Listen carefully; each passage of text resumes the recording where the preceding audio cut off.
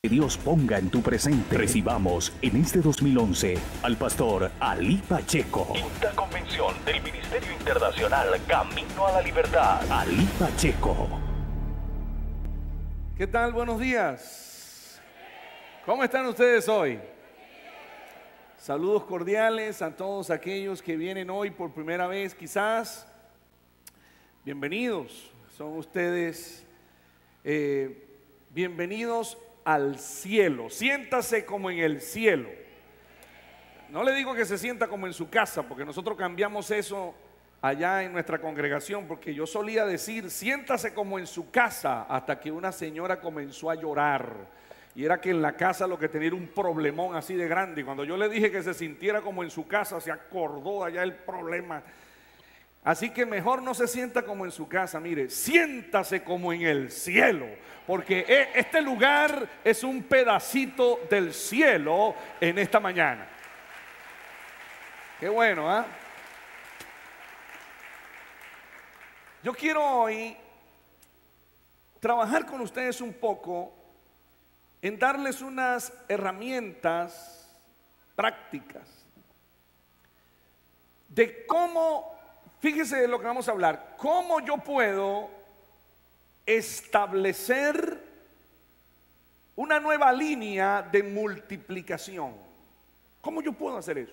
¿Cómo, yo puedo establecer algo que se multiplique, que, permanezca de generación en generación? Que no termine conmigo, que no termine con mi trabajo, con mi esfuerzo sino que continúe como una herencia, que lo que yo hice, que lo que yo entendí, lo que yo atrapé, lo que Dios me dio, lo que yo pude transmitir, lo que yo pude impartir, que me fue dado, eso pueda continuar en mi generación. Y mi generación, mis hijos, los hijos de mis hijos y toda mi generación que siga por ahí, pueda disfrutar de lo que Dios a mí me dio y que ellos puedan aprender a multiplicarlo. Yo nazco en un barrio de Caracas y en ese barrio un día me pasaron todas las cosas malas que quizás le pueden pasar a alguien, sobre todo a un niño. De pronto usted lo mira hoy y dice, bueno, no fue tan grave, pero para mí lo fue en ese momento. Yo tenía que caminar una hora para llegar a la escuela. Era una escuela privada, privada de electricidad y privada de agua. Una hora caminando por un cerro para llegar a la escuela. Caracas era una ciudad fría en ese tiempo, hacía frío, llovía esa mañana, mi mamá se levantaba muy temprano y me cocinaba una arepa. Sola, sola, una arepa, ni siquiera tenía queso por dentro. Ese era mi desayuno. Y yo nazco, escuche bien, literalmente en la miseria. Vivíamos en un rancho que se mojaba. Cuando llovía se mojaba. Esa mañana yo salí de mi casa. No tenía bultos para poner mis libros. Tenía que cargarlos en la mano. Y yo iba caminando a la escuela y me resbalé y los libros se me cayeron en un charco de agua. Se me mojaron. Recogí mis libros y mi ropa con, con pantano Seguí caminando hacia la escuela y estaban unos muchachos traviesos y alborotaron un panal de avispa. Y salieron las avispas. Por supuesto que yo corrí, pero las avispas me alcanzaron. Una me picó una por aquí, otra por aquí, me pusieron los ojos así. Y corriendo yo de las avispas, salió un perro de una casa y me mordió.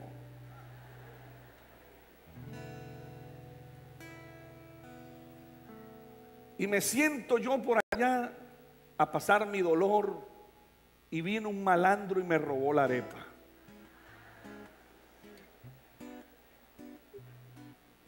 Aquel día estoy convencido que tuvo que haber sido un viernes 13.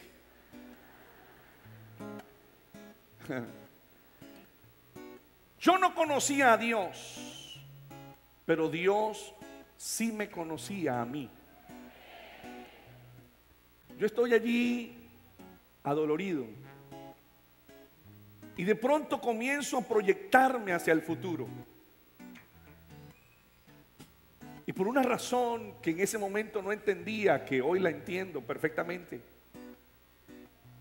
comienzo a pensar que algún día yo tendría una familia. Y yo me dije dentro de mí, yo no quiero que mi familia pase lo que yo estoy pasando. Yo tengo que hacer algo. Yo tengo que cambiar mi futuro. Yo no sé lo que tengo que hacer. Yo era un niño, yo tenía 8 o 9 años. Fui donde el maestro de la escuela esa mañana y le pregunté, maestro, ¿qué hago yo para salir de este barrio? ¿Cómo yo supero mi miseria? ¿Cómo yo logro salir de este ambiente que no me agrada? El maestro me miró sorprendido por esa pregunta. Y él me dice, y jamás se me olvidarán sus respuestas, sus palabras. Me miró y me dijo, para tú hacer eso, necesitas tener recursos económicos. Y para tener recursos económicos, necesitas tener un buen empleo. Y para tener un buen empleo necesitas una profesión. Y para tener una profesión necesitas estudiar. Así que vaya a estudiar. Bueno, maestro al fin. Pero yo vi eso muy lejos. Yo dije, wow, eso está lejos. Yo necesito avanzar. No tengo tiempo para contarle muchas cosas, pero quiero contarle un evento que es de lo que quiero hablarles. Quiero concentrarme en un evento y quiero desarrollarlos y de eso quiero hablarles. El padre, mi papá, mi papá era un hombre del campo, un hombre hasta cierto punto ignorante de muchas cosas. Nunca nos abandonó, eso es verdad. Pero tampoco podemos decir que tomó cuidado de nosotros de una manera muy efectiva como papá. Era un hombre borracho, mujeriego, como, como los hombres normalmente son. Pero un día pasó algo. Un día mi papá trajo un televisor a la casa. Y cuando él puso ese televisor allí, todos nos quedamos asombrados. ¡Wow! Ahora, cuando yo vi el televisor por primera vez, a mí no me llamó tanto la atención la programación. ¿Saben qué me llamó la atención? El televisor. Yo dije, wow, ¿qué aparato es ese? ¿Cómo es que la gente habla? Me asomé por detrás y era un aparato de tubos. Entonces se veía como una ciudad. Y como yo vivía en un cerro que se veía Caracas, pues yo me imaginé que esa era la ciudad donde vivía la gente que hablaba en la televisión. Así que al otro día temprano en la mañana me levanté con un destornillador y comencé a quitarle la tapa al televisor. Cuando ya estoy sacando la tapa, miro y veo unos zapatos conocidos. Sigo subiendo y veo unos pantalones sin correa. Y cuando miro es mi papá con la correa en la mano. Yo tengo siete hermanas, yo soy el único varón. Todas mis hermanas estaban asomadas así una detrás de la otra de la puerta. Porque mi papá era un hombre bien fuerte, bien férreo. Teníamos un perrito en la casa llamado Rintintín. Ese perrito salía a recibir a todo el mundo, menos a mi papá. ¿Saben cómo sabíamos nosotros que mi papá llegaba a la casa? Porque Rintintín salía corriendo con el rabo entre las piernas. Entonces nosotros sabíamos, viene mi papá. Salíamos corriendo nosotros también. Pero aquel día a mi papá lo usó Dios. No hay otra explicación. Porque de pronto lo que sería una pela segura De pronto mi papá cambió. ¿Qué lo hizo cambiar? Yo no sé. Pero de pronto él guardó la correa. Se sonrió conmigo. Me parece todavía ver su sonrisa. Posible olvidar ese momento. Él me miró con ternura y lanzó una palabra que marcó mi vida para siempre. Porque él dijo, mi hijo va a ser un ingeniero.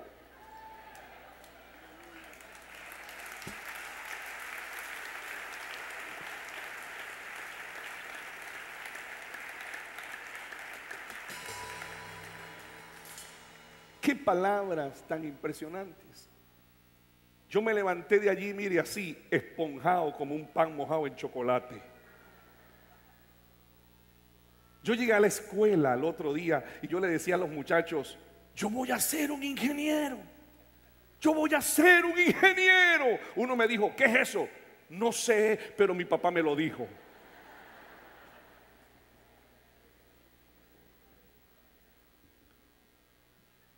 Llegó a mis manos un libro que se lo quiero recomendar a los jóvenes. Es un libro viejo, es un libro extraño, se llama El hombre que calculaba. Todavía existe. El hombre que calculaba. Ese libro es una historia romántica de las matemáticas. Es una historia apasionada, te va a encantar. Desde el momento que comienzas a leer el libro, el libro te atrae. Es un libro atractivo, hermoso, bien escrito, porque no está escrito por escritores, está escrito por matemáticos. Y ellos escribieron el lenguaje de la matemática en una historia que termina con una historia de amor impresionante. Les garantizo que el libro les va a encantar. ¿Alguien ha leído ese libro? ¿Alguna, ¿Alguien ahí tenemos una persona. El hombre que calculaba. Ahora, ese libro hace que yo me enamore de las matemáticas. Y mientras los muchachos jugaban con trompos y papagayos y cometas y pelota, yo también jugaba un poquito, pero yo jugaba con las matemáticas. Lo mío era fórmulas, polinomios, ecuaciones. Y yo me divertía manejando las matemáticas, sin darme cuenta que mi mente se estaba desarrollando de una manera impresionante. Comencé a avanzar en la escuela, comenzaron a subirme de grado, de cuarto grado me pasaron al sexto. Salí muy rápido de la primaria, ingresé a la secundaria y mi mente seguía produciendo números y jugando con los números. Entonces me graduó de tecnología superior en electrónica ya marcado por mi papá en la ingeniería, muy joven, muy joven.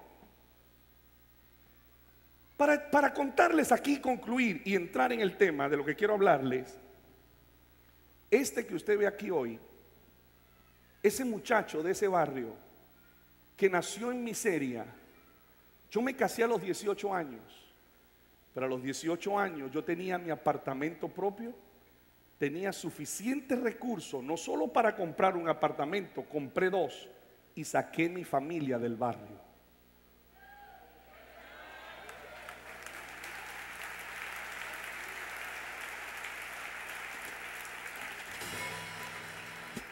A los 13 años conozco a Jesús. ¿Y saben por qué le entregué mi vida a Jesús? Escucha joven que estás acá. A los 13 años ¿Saben por qué le entregué mi vida a Jesús? Porque cuando fui a aquel templo, yo no me acuerdo del mensaje, pero me acuerdo del llamamiento. El pastor señaló así, y usted sabe que cuando uno viene por primera vez a un sitio, señalan así, uno dice, eso es conmigo. uno hace así, oye, me está señalando a mí. Entonces el pastor señaló así y dijo, hazte amigo de Jesucristo y Él hará tus sueños realidad. Entonces yo dije, ese es el que yo necesito porque yo tenía cualquier cantidad de sueños. Entonces, yo logré ocupar posiciones gerenciales. Yo fui gerente de Sony para toda Latinoamérica. Bien.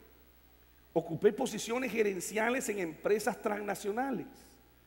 Realicé proyectos de ingenierías de envergadura, como la digitalización de Televisa en México.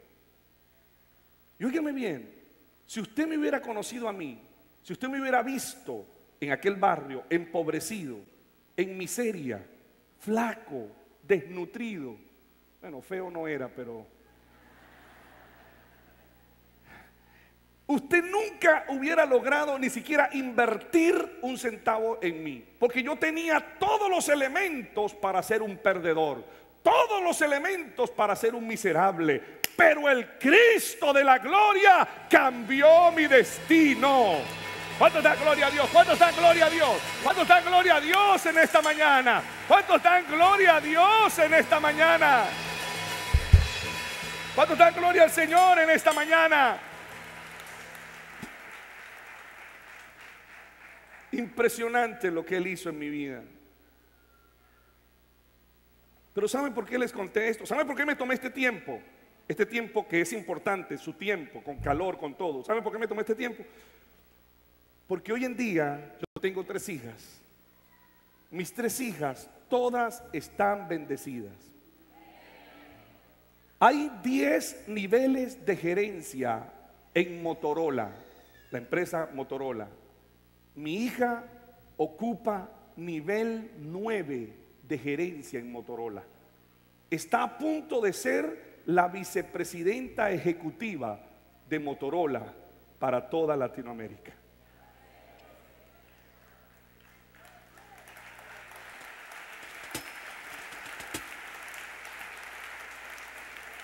Mi segunda hija, Mirianis, es ingeniero de proyectos. Trabaja para Citrix.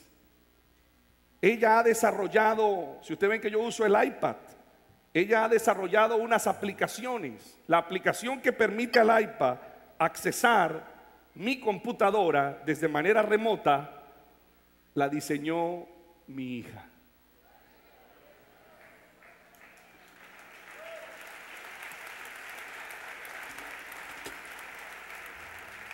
Mi tercera hija, Elimir, la más pequeña, tiene su propia empresa de imagen corporativa y de real estate. Se ganó el tercer lugar en la presentación de una, de una promoción para Motorola, para, perdón, para eh, Toyota a nivel de Latinoamérica. Y fíjese, imagen corporativa, esas son mis tres hijas, bendecidas, prosperadas y en victoria. Ahora, ¿por qué te estoy hablando de esto?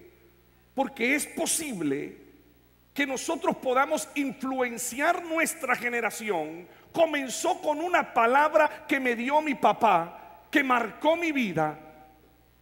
Y esa palabra afectó mi vida, pero no solo me afectó a mí, no solo me bendijo a mí, no solo con la ayuda del Espíritu Santo, con mi Padre Celestial, pude yo cambiar mi destino, sino que ahora mis hijas están todas bendecidas. Y mis nietos, cinco nietos varones y una hembra. Hace dos años llevé a mis hijas al lugar donde yo nací. Y ellas me abrazaron porque no podían creer que yo venía de ese lugar. Me dijeron, papi, gracias.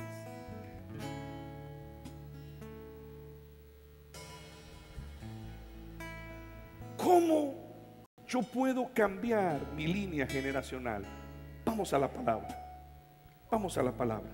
En Génesis capítulo 11, perdón, Génesis capítulo 12 y versículo número 2, si usted tiene su Biblia,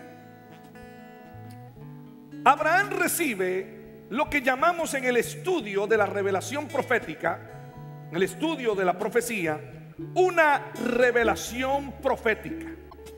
Y usted mantenga su Biblia allí abierta y deme su atención. Génesis 12:2. Pero mire esto que dice la palabra. La revelación profética es importante para los hombres, para las iglesias de desafío, para las iglesias que están en crecimiento porque la revelación profética se adelanta en el tiempo y en el espacio. Y cosas que usted no está viendo hoy, cosas que son imposibles quizás que ocurran, que pasen en su vida, en la vida de su familia, Dios te las revela de manera profética, para que tú camines en fe, para que tú le creas a Dios.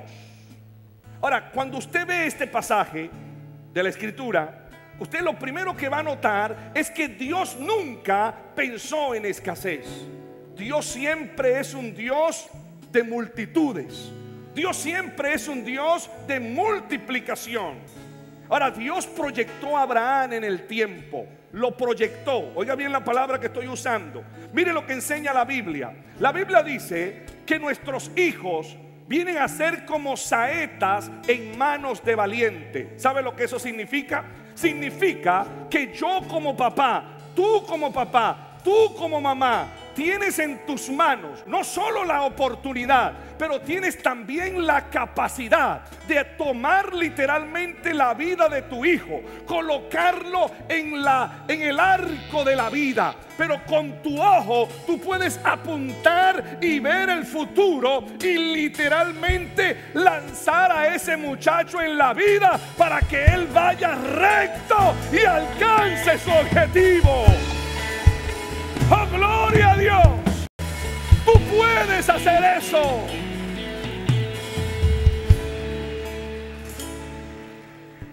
Hay padres que literalmente han lanzado a sus hijos hacia atrás o hacia un lado o los han enterrado en un sitio. Entonces usted encuentra gente que no se atreve a soñar, gente que no ha podido desarrollar su capacidad, sus habilidades.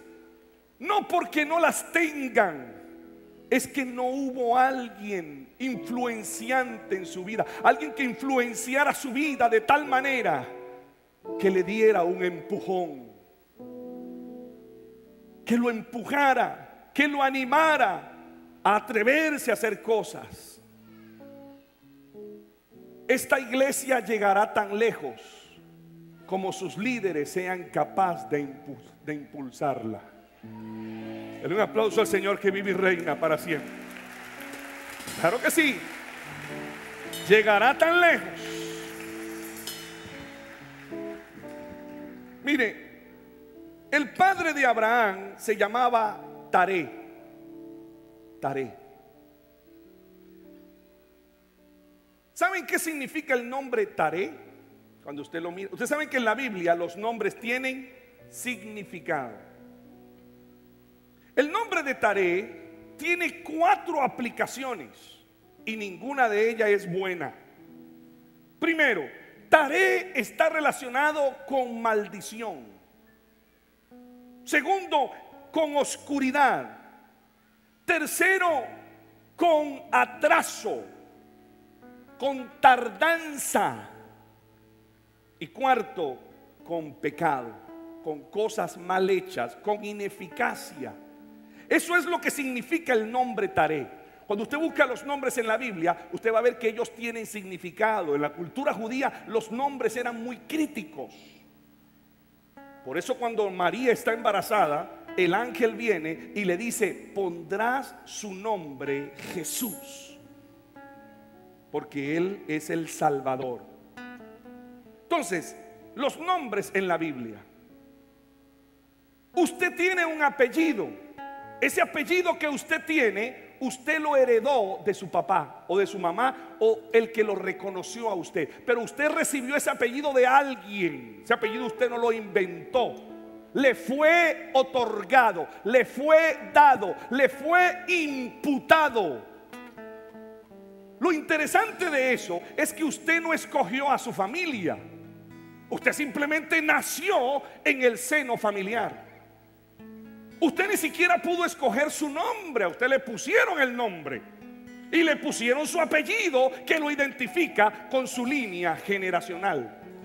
Ahora, ese apellido que usted tiene podría estar identificado en el pasado la gente, sus ancestros que llevaron ese apellido, a lo mejor fueron conocidos en tiempos pasados de alguna manera. Ese apellido estuvo quizás relacionado o identificado con algo. Entonces, por eso es que usted encuentra esto. Usted encuentra familias, por ejemplo, de abogados El abuelo fue abogado, el papá fue abogado, el hijo es abogado. Familias de arquitectos, familia de pastores. Pero encuentra usted también familia de narcotraficantes, familia de tramposos, familia de ladrones, familia de borrachos. El abuelo fue borracho, el papá fue borracho, el tío tiene un bar. La cosa como que corre en la familia. Y resulta ser que los apellidos y los nombres de la familia están directamente identificados con algo. Ahora, yo no lo conozco a usted. Mucho menos sé cuál es su apellido, ni de dónde salió. Y usted quizás tampoco sepa quién llevó ese apellido por allá. Pero usted sí puede saber quién lo lleva de ahora en adelante. Usted sí puede cambiar eso. Denle un aplauso al Señor que vive y reina para siempre. Ahora es tu oportunidad de que ese apellido que identifica a tu familia sea conocido de manera diferente. Cuando yo cuente tres, yo voy a profetizar. Cuando yo cuente tres, yo quiero que usted grite el nombre de su familia. Para esas mujeres que le montaron el apellido del marido, grite los dos.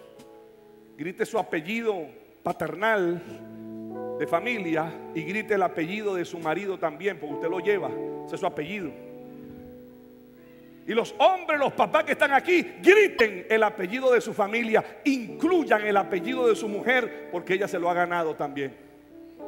Porque ustedes son la familia, por ejemplo, en mi caso, la familia Pacheco Almenar. Entonces, cuando yo cuente tres, grite los apellidos. Si usted tiene cinco o seis, grítelos todos. Ay, ay, Pacheco de la Santísima Trinidad Concepción Palacio Cordero Riera. Pero grítelo. Yo lo que quiero es que con sus labios usted lo suelte en el ambiente. Porque cuando usted suelte su apellido, yo voy a profetizar sobre él. ¿Están listos? ¿Están listos? Uno, dos, agarre aire. Tres, grítelo.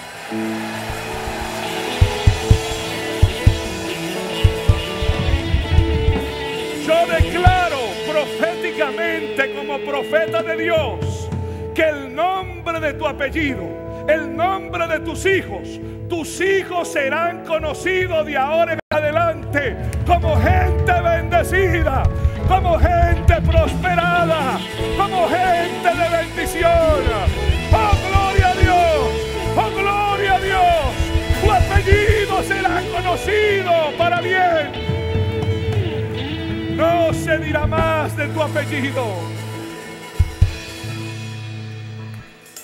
No solo será conocido en esta ciudad, pero muchos apellidos aquí van a sonar en el exterior. ¿Cuánto está gloria? Dígalo amén, dígalo, yo lo recibo. Dígalo, yo lo recibo. Oh, yo lo recibo.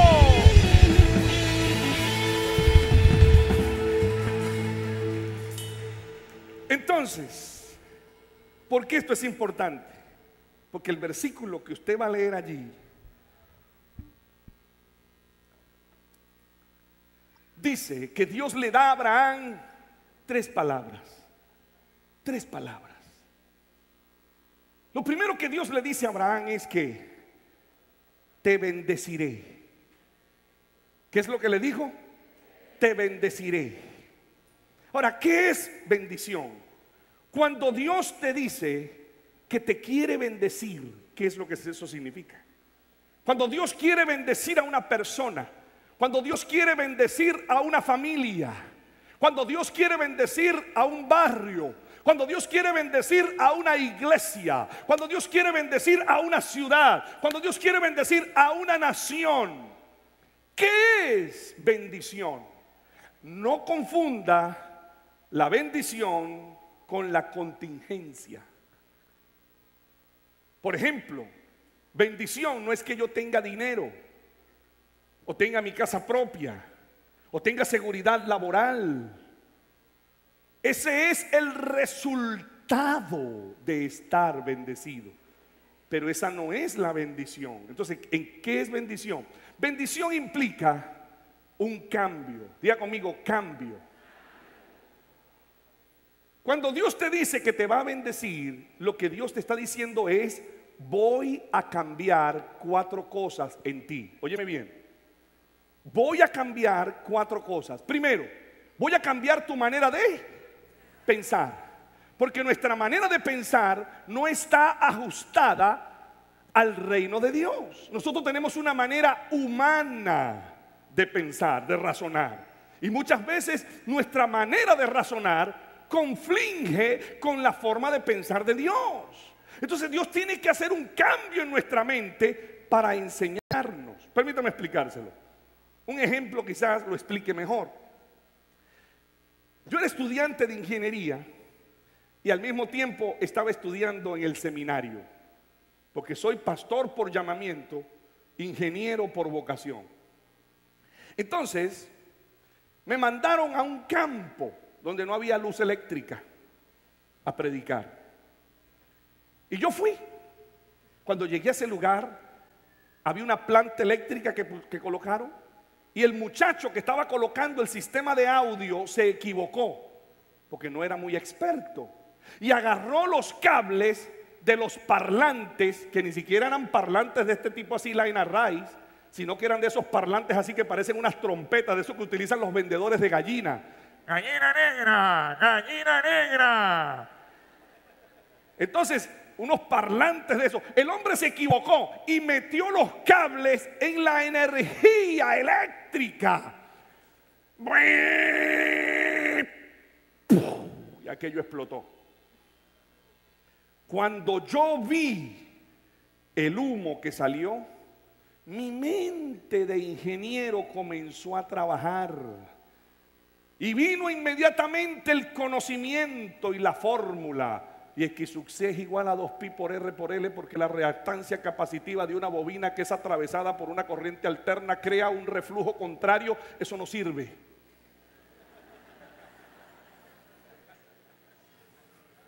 Así que yo llegué a la conclusión de que eso no servía. Pero de pronto aparece un viejito en un burro. ¿Qué es lo que pasa? Que no hay sonido. Se quemaron los parlantes, le dijeron. ¿Cómo que se quemaron?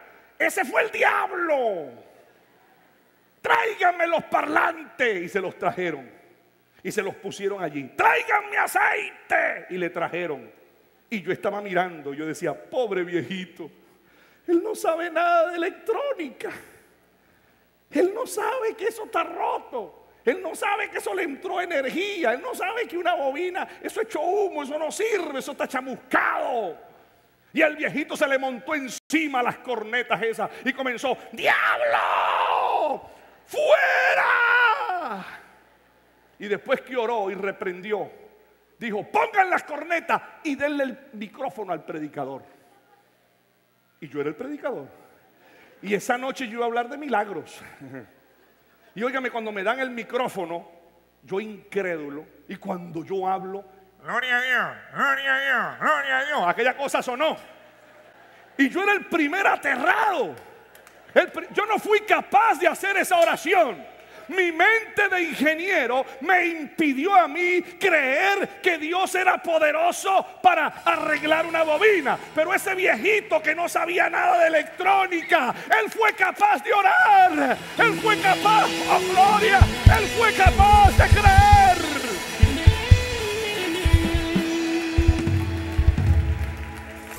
¿Se da usted cuenta por qué nuestra mente tiene que ser renovada? ¿Sabe lo que está usted recibiendo aquí esta mañana? Palabra de Dios. Y esa palabra tiene la capacidad, la habilidad y la suficiencia de regenerar tu manera de pensar. Y acomodarte para que creas que todo es posible. Lo segundo que Dios quiere cambiar es tu manera de ver las cosas. Porque es que estamos acostumbrados a ver de la manera humana. Pero Dios quiere que veamos otra cosa. El que tiene su mente renovada cambia también su manera de ver las cosas. Se dice de un hombre que mandaron por allá a vender zapatos a un pueblo. Y cuando llegó se dio cuenta que la gente no usaba zapatos, la mayoría. Mira, allá va uno sin zapatos, allá va otro con la pata pelada, allá va otro sin zapatos. Y el hombre se fue triste y dijo, aquí yo no vendo zapatos. me voy a morir de hambre, aquí la gente no usa zapatos. Otro que lo escuchó dijo, ¿cómo? Un pueblo que la gente anda a pie, sin zapatos. Se fue para allá y comenzó a ver y cuando miraba, allá va uno sin zapatos, allá va otro sin zapatos, allá va otro sin zapatos y comenzó a sacar la cuenta. Aquí voy a vender yo zapatos hasta hacerme millonario. Donde uno vio un problema, el otro vio una bendición. ¿Cuánto está gloria a Dios? ¿Cuánto está gloria a Dios? ¿Cuánto está gloria a Dios?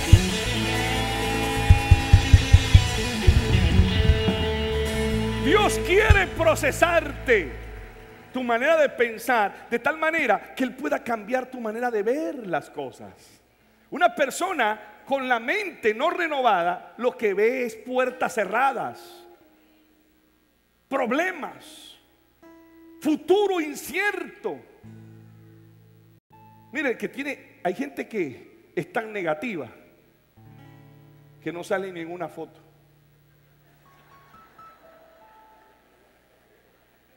Oye, son tan negativos que cuando se desmayan, en vez de volver en sí, vuelven en no. Pero mire, una persona negativa ve, por ejemplo, una, una, mata de rosa y dice, caramba, Dios sí es caprichoso. ¿Cómo se le ocurre a Dios ponerle espinas a esas rosas tan lindas? Pero una persona con la mente renovada diría, Hmm, hay que ver que Dios sí es grandioso. A esa mata de espinas tan fea le puso unas rosas tan bonitas. Dale un aplauso al Señor. Ah, eh, eh, es una manera diferente de ver las cosas.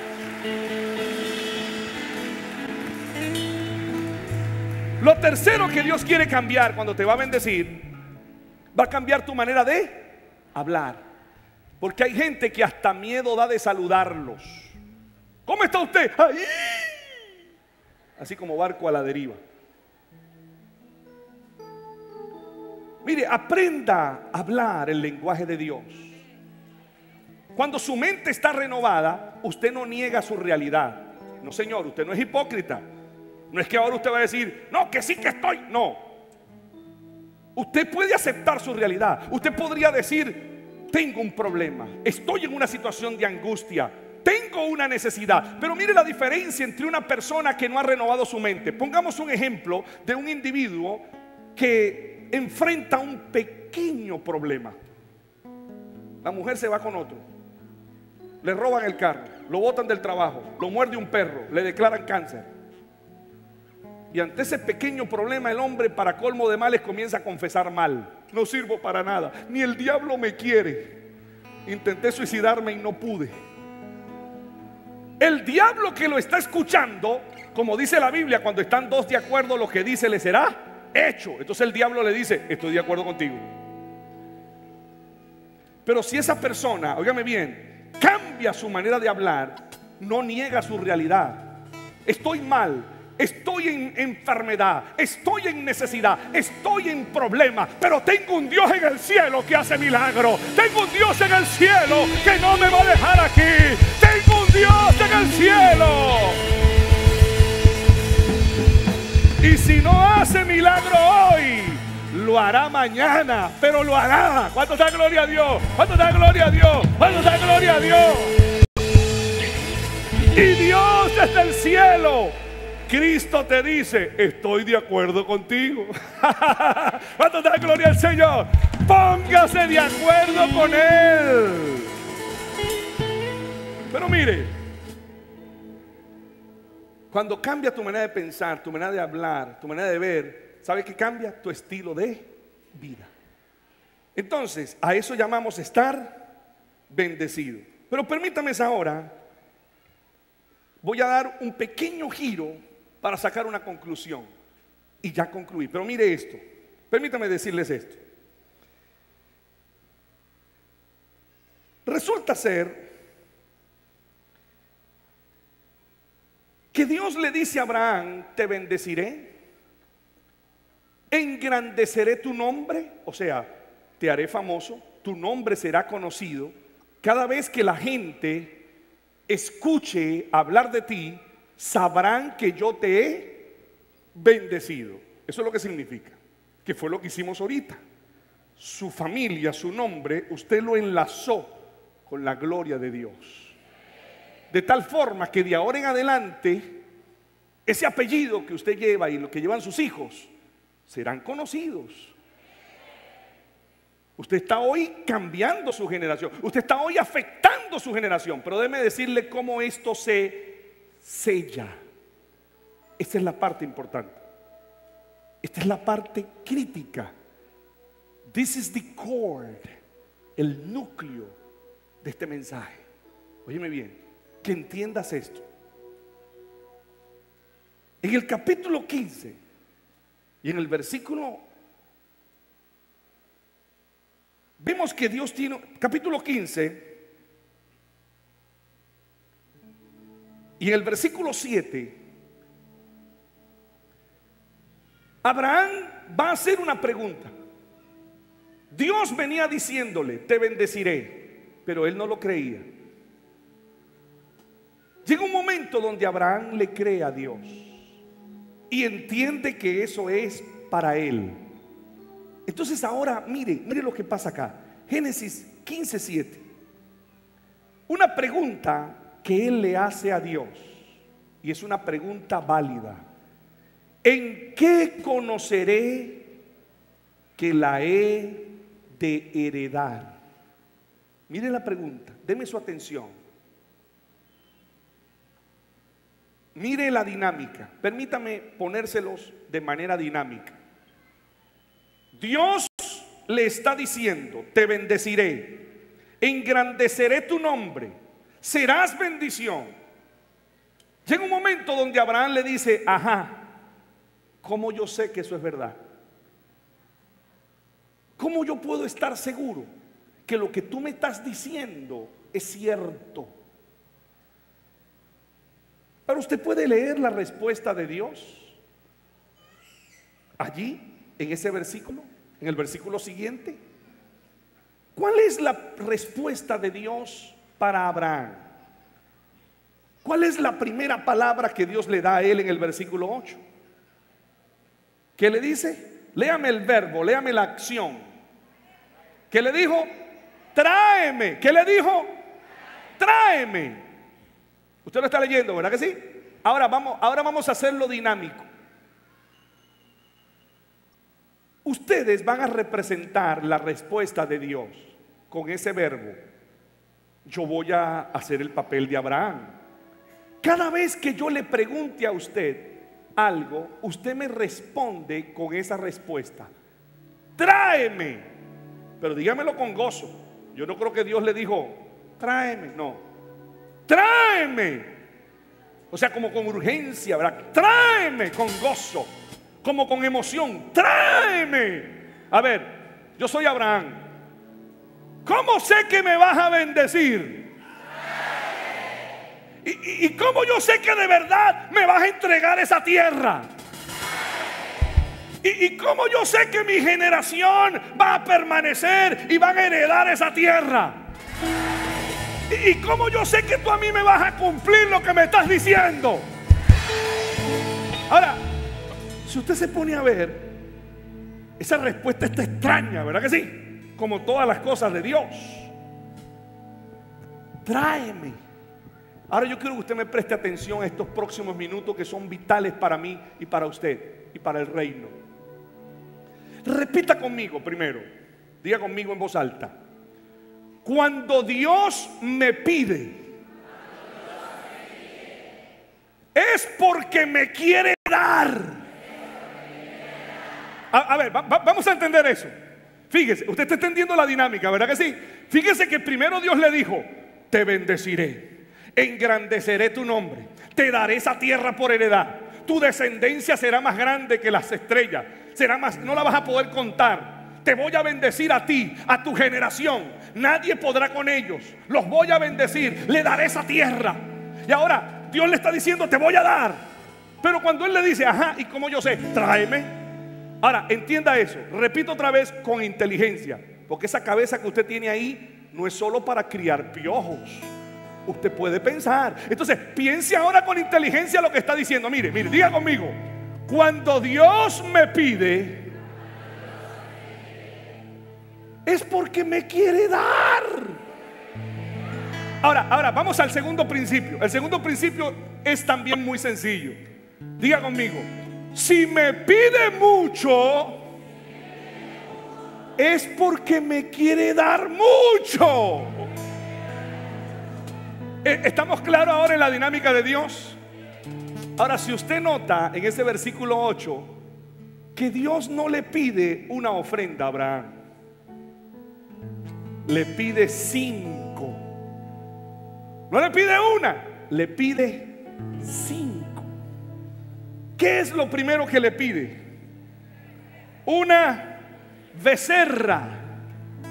La becerra en la Biblia, cada vez que usted encuentre la becerra en la escritura, dentro de un contexto profético, simboliza riqueza, oro y prosperidad. Por eso es que cuando los judíos salieron de Egipto, hicieron un becerro de oro.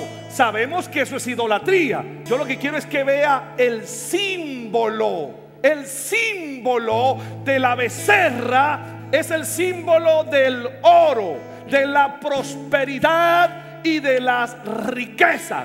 Por eso es que cuando el pródigo, el hijo pródigo, retorna al padre, el padre mata el becerro gordo, porque él había despilfarrado la riqueza. Entonces, el matar el becerro era el símbolo de la restauración de la riqueza de su hijo. Entonces, cuando Dios le dice a Abraham, tráeme una becerra, le está diciendo, tráeme el símbolo de la riqueza del oro. Es un símbolo. Yo lo tomo como un símbolo profético. Y yo te garantizo, Abraham, tú me traes una becerra y tu generación será una generación bendecida, prosperada. ¿Cuánto da gloria? Dale un aplauso al Señor. Dale un aplauso. Al... Oh, gloria a Dios. Oh, gloria a Dios.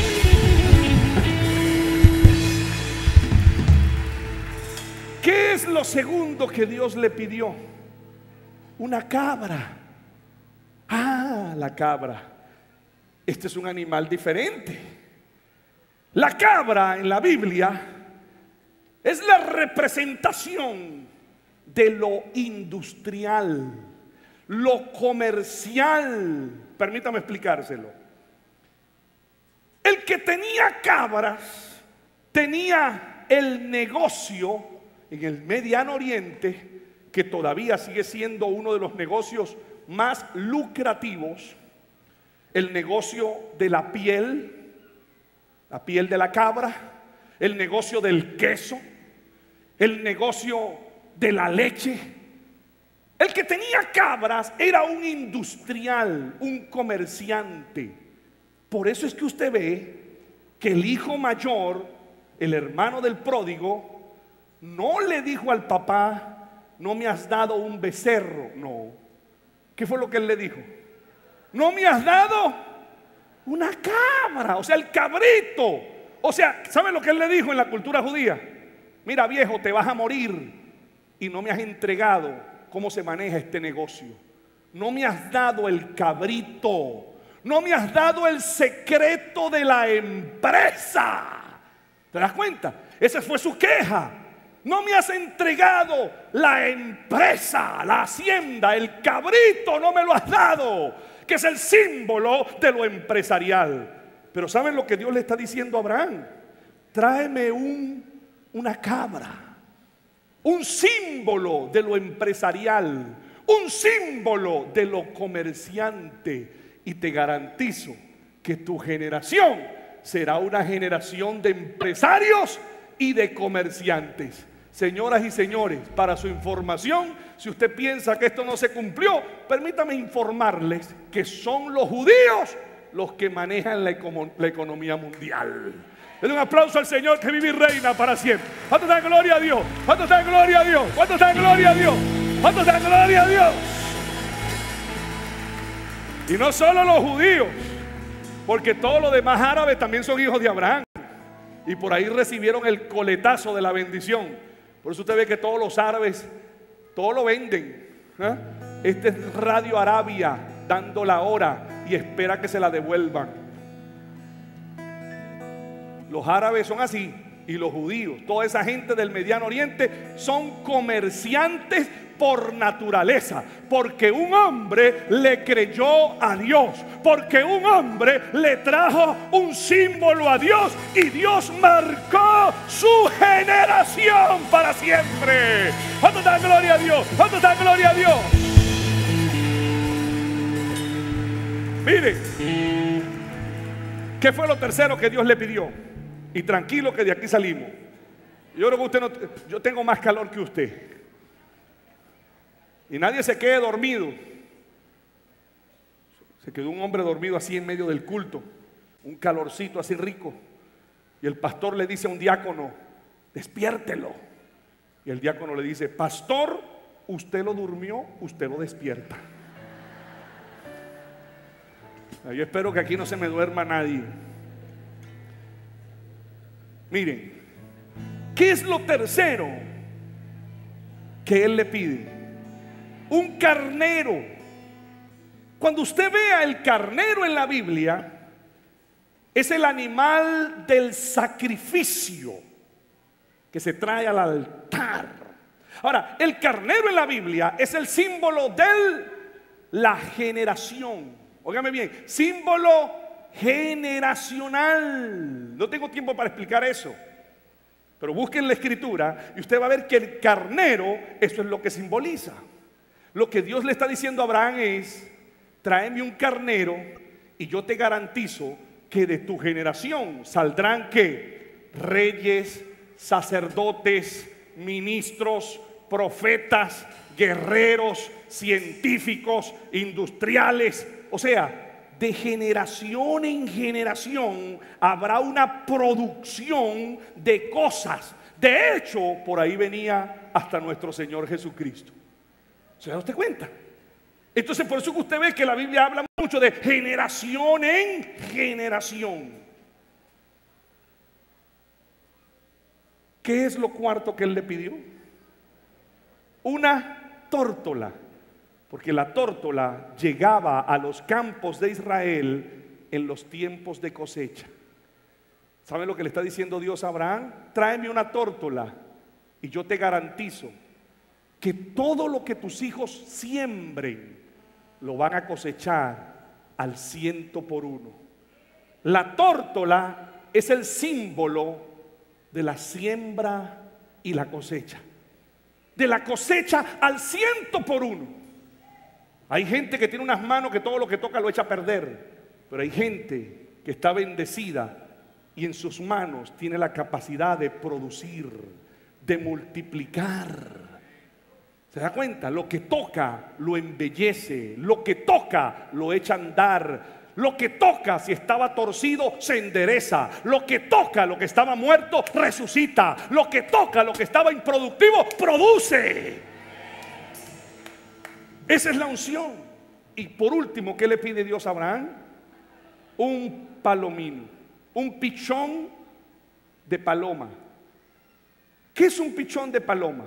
¿Qué simboliza? Un pichoncito flaco, desnutrido, sin plumas, todavía no se ha desarrollado, con hambre. Pichoncito, ¿sabe lo que simboliza? Una nueva vida, el potencial de un futuro. Ese pichoncito todavía no ha volado, pero va a volar un día. Todavía no tiene alas, pero las va a tener. Todavía no sabe cantar, pero va a cantar. Lo que Dios le está diciendo a Abraham es, tráeme un pichoncito y yo te garantizo que el sueño de tus hijos se hará realidad. No quedará frustrado. No, tu hijo, tu hija no morirá. Tu hijo, tu hija no será para el mundo. los talentos de tus hijos y de nuestros muchachos serán para el reino. Ellos van a bendecir al reino. Ellos van a estudiar y se van a graduar y van a alcanzar profesiones y van a influenciar la ciudad y van a ser bendecidos, pero van a bendecir la obra. Ellos van a impulsar el reino. ¿Cuánto dan gloria a Dios? ¿Cuánto dan gloria a Dios? ¿Cuánto dan gloria a Dios? Gloria a Dios. Entonces ahora yo quiero concluir con un acto profético. Como profeta de Dios, hoy yo quiero hacer algo. ¿Cuál es la moneda más pequeña aquí en Colombia? 50 centavos, pesos. ¿Esa es la más pequeña? De ahí para abajo no hay más nada. Alguien me da 50 pesos, por favor. ¿Quién tiene 50 pesos? Yo quiero ver 50 pesos. Tráigame 50 pesos. ¿Quién, tiene 50 pesos? Quiero ah, usted tiene, aquí, aquí ya están, gracias, gracias. Se lo voy a cambiar por uno de 2000, ¿le sirve? Buen cambio, ¿verdad? Ya no venga más nadie que no hay más. 50 pesos. Lo que yo tengo en mis manos es un símbolo. Ahora, ¿sabe lo que, lo que esto simboliza? 50 pesos. Esto simboliza el mínimo factor de la economía colombiana.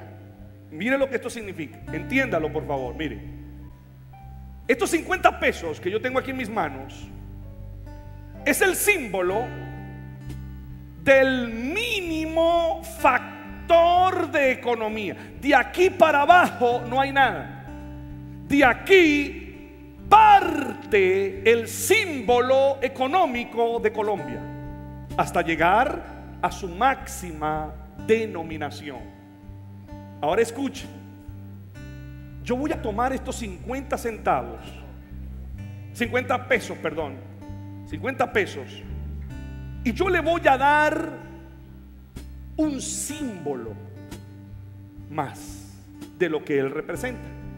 Así como Abraham tomó la becerra y se la trajo al Señor, pero esa becerra era una becerra, pero simbolizaba la riqueza.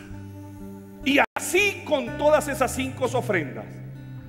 Pero ahora, como aquí no tenemos una vaca, ni una cabra, ni una gallina, vamos a agarrar 50 centavos pesos, perdón, discúlpeme, yo tengo la mentalidad americana. 50 pesos.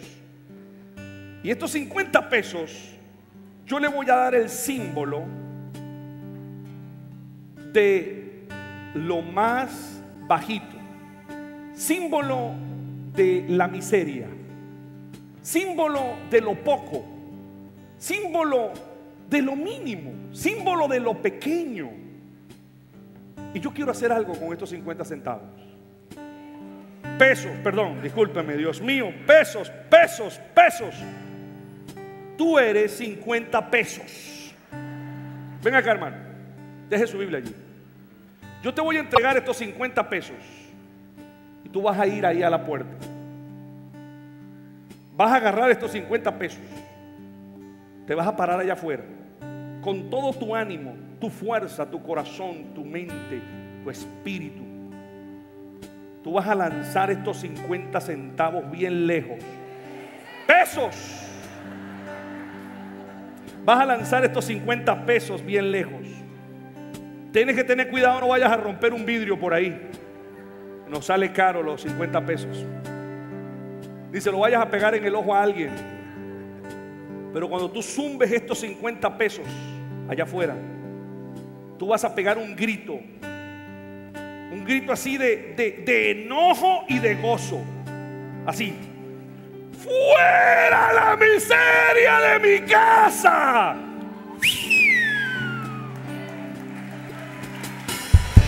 ¿Están? ¿Ah? ¿Está listo? Corra. Ahora afuera, vamos, vamos a ver. Vamos a ver, vamos a ver.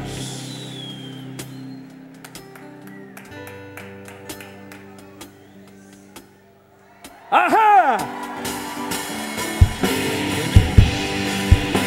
¡Gloria a Dios!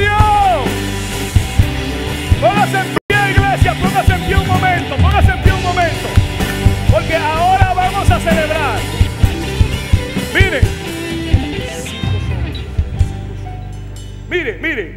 A ver, haga conmigo así. Señale para algún lado. vamos a señalar todo para allá. Para allá. Vamos a señalar todo para allá. Y usted va a decir conmigo ahora. Abra sus labios y diga conmigo. Fuera la miseria de mi casa. Pero mire, en esta mañana vamos a hacer algo más. Así en pie como ustedes están y con esto concluimos. Hemos marcado nuestra generación.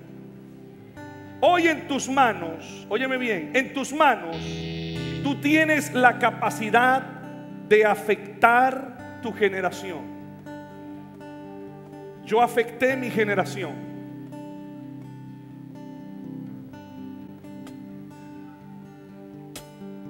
Yo pude haber seguido siendo un miserable. Pero Dios cambió mi vida.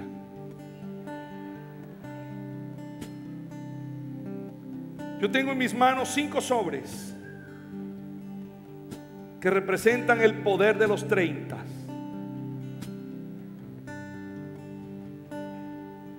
Se me ha explicado que este sobre es para que usted lo tome, si quiere, si usted cree. Por eso Dios le dijo a Abraham, te bendeciré. Por eso Abraham dijo, le creyó a Dios. Luego le dijo, ¿cómo? ¿Cómo vas a hacer eso? Tráeme, tráeme.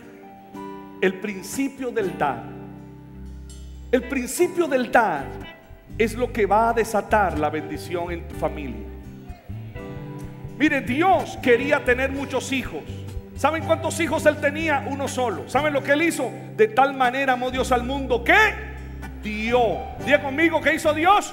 Dio. Ahora, Él dio a Cristo. Levante la mano los que son hijos de Dios. A ver, levante la mano. Ajá, ajá. Se le multiplicaron los muchachos al Señor. ¿Se da cuenta usted? Él dio uno, ahora tiene miles. Pero para él tenerlo a usted tuvo que dar uno. Jesús llegó a la orilla del lago. Ahí estaba Pedro. Había pescado toda la noche. No había pescado nada. No porque no sabía pescar. Era un pescador profesional pero esa noche no pescó porque esa barca vacía simboliza la empresa que está improductiva, la empresa que debió haber producido pero que no produjo ese día.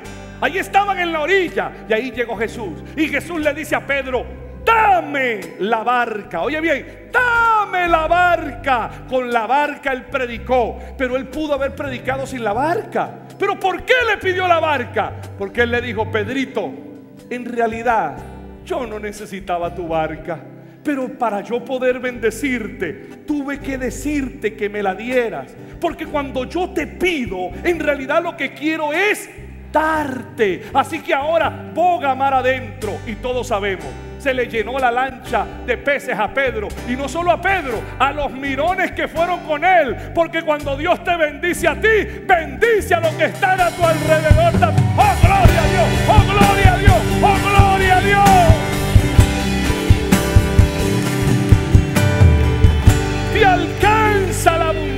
A ti. Y queda para el que está a tu lado. Yo tengo cinco sobres. Y yo quiero que hoy usted marque su generación. Aunque esta ofrenda tiene un propósito específico, usted le va a dar un símbolo. Un símbolo. Y yo quiero que usted cuando agarre este sobre, usted coloque aquí su nombre pero coloquen el sobre, esta es la becerrita de mi familia.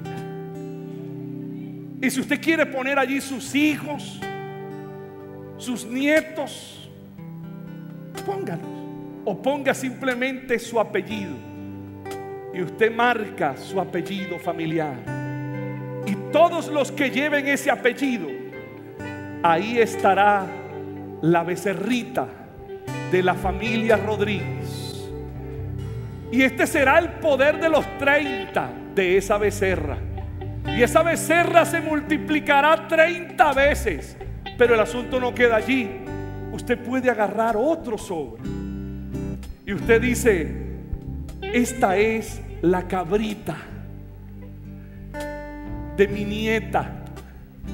Y yo marco mis nietos. No los tengo, no los conozco. Ni siquiera tengo la suegra. Pero yo voy a marcar mis nietos. Y yo declaro que mis nietos serán gente industriosa, comerciantes. Heredarán los negocios que otro deje. Y yo marco mi generación. O usted agarra al carnero y dice, mi generación por siempre, siempre se preservará el cristianismo.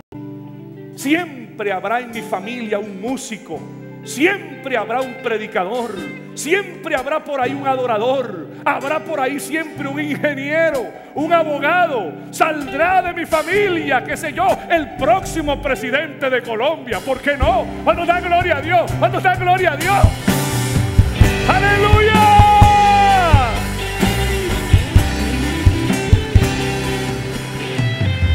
O usted puede agarrar el cuarto sobre y decir, multiplico por 30 a ese a esa tórtola y yo declaro que todo lo que mis hijos toquen va a prosperar. Que todo lo que mis hijos, sus manos serán manos productivas. Las manos de mis hijos no serán para tomar un arma. Las manos de mis hijos jamás serán para destrucción. Las manos de mis hijos nunca harán daño. Las manos de mi generación serán manos que levanten. Serán manos que construyan a Colombia. Serán manos de bendición. Serán manos trabajadoras. Porque yo hoy marco mi generación. Y finalmente usted dice, Aquí está el palomín. Yo declaro que hay un nuevo comienzo para mi familia. Si en mi familia hubo tragedias, muertes, divorcios, pobrezas o riquezas malavidas, si mis ancestros me heredaron un apellido, y yo estoy ligado a ese apellido. Y en el pasado, los que llevaron ese apellido lo identificaron con otra cosa.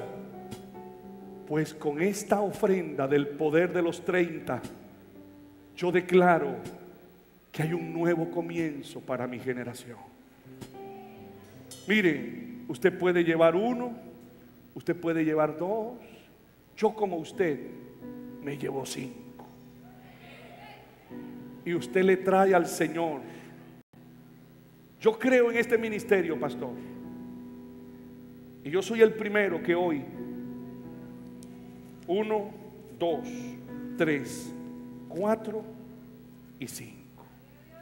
Y yo quiero sembrar en esta mañana, no tanto por mis hijas y mis nietos, ya ellos están bendecidos, pero yo voy a sembrar representando a una familia aquí Y esa unción que está sobre mí, de bendición y de prosperidad, yo marco a una familia. La que Dios hoy escoja, aquí está esa ofrenda. Pero usted, fíjese, yo no soy de acá. Yo creo en este ministerio. Y yo creo en el poder de los 30. Así que, pastor, usted como casa como cabeza de casa, yo le hago entrega a usted. Aquí está una becerra, una cabra, un carnero, una tórtola y un palomino.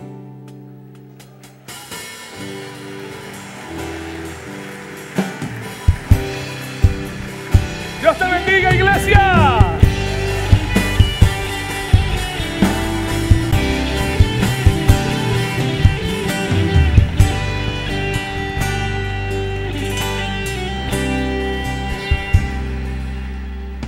Le puedo pedir cinco minutos de su cultura, de su decencia, de su atención. Siéntese, por favor.